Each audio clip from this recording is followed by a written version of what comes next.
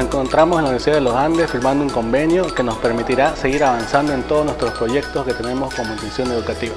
La Universidad de los Andes, con los 20 años de experiencia que tiene de la ciudad de La Paz y arribando a la ciudad de Santa Cruz ya con dos años en el trabajo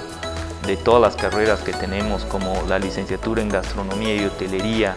eh, ingeniería mecánica, automotriz, diseño textil y modas y un técnico superior en educación parvular inicial,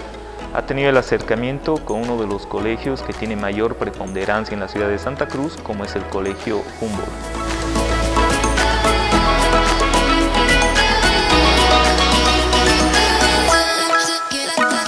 Esto va a permitir que nuestros estudiantes desde primaria hasta secundaria puedan hacer cursos que estén certificados en áreas de su interés. Vamos a poder tener además un convenio con profesionales de alta calidad para que puedan ayudarnos en la asistencia de nuestras clases, tanto virtuales como presenciales, y así también para el nivel de inicial. La enseñanza académica superior es necesario que le entendamos de que ha cambiado completamente antes de esta pandemia ya era un tema práctico y hoy en día